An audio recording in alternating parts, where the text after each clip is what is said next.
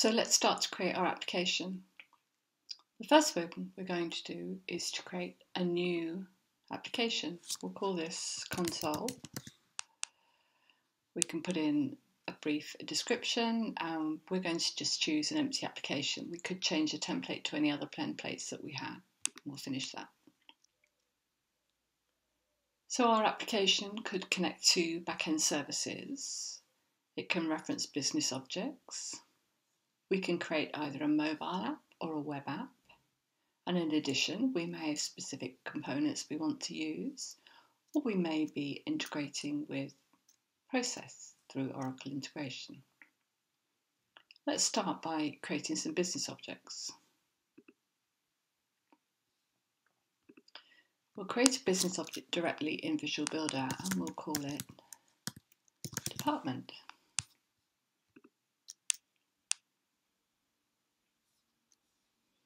So here's the overview. We can add in a plural label.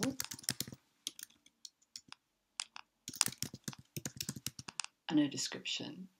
We could add fields. We could access security, add, add additional business rules. We could look at the endpoints, and of course we can add data. So let's start by adding some fields. Visual Builder's already added an ID field for us and some audit columns. But let's add an additional one ourselves. So let's add a field called name, which is a string, and another one called target. This is a number, will be the number of people we want in each de department.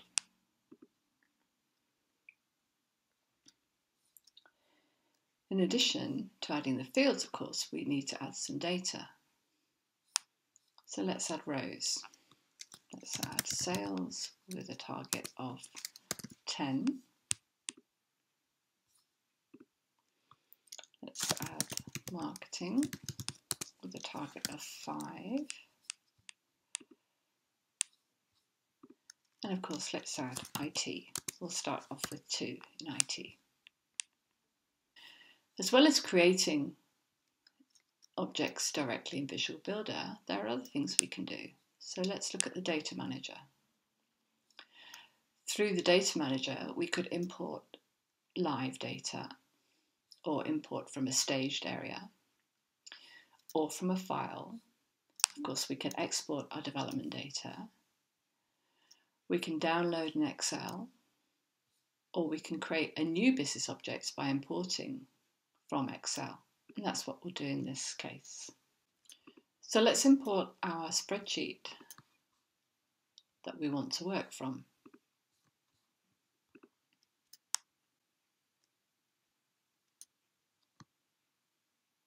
You can see that we found the employees and the locations records. Now we can make some slight changes. So I want the object name to be a single. And we can look at employees and locations. So in employees, the start date currently is a full date time. Let's just change that to a date. And of course we could make changes to the location data as well. Okay finish that and the import will take place.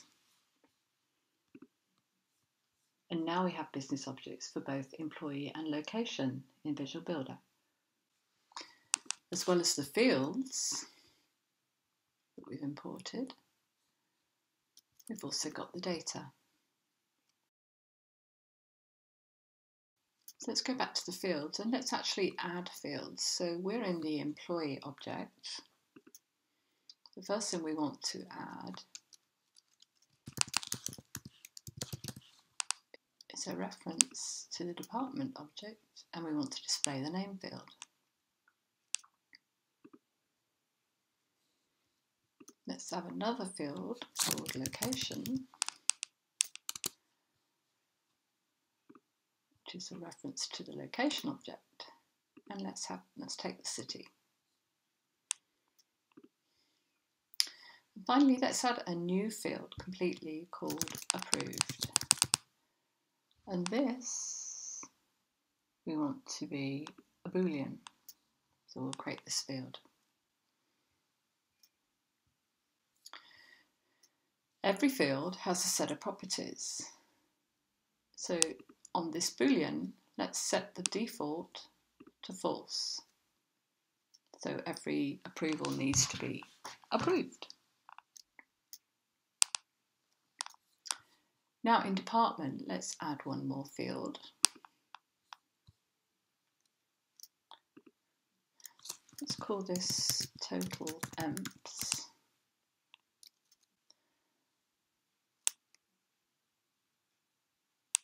And this will be a number. Let's make this an aggregation from the employees object and let's take the count so we can see how many employees are in each department.